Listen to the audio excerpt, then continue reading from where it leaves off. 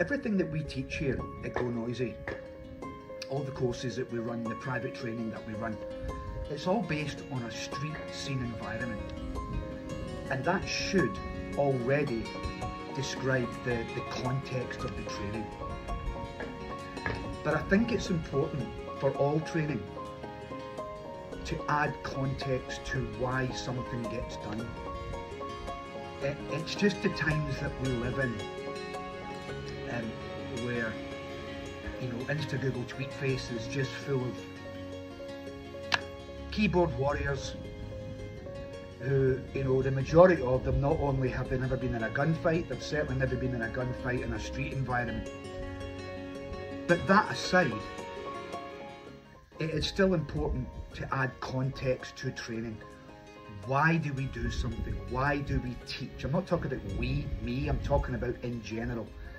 Why you teach something has to be put in context. And the best way to add context is to have the experience of what it is that you are teaching.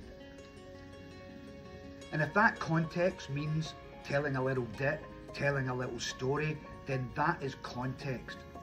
Okay?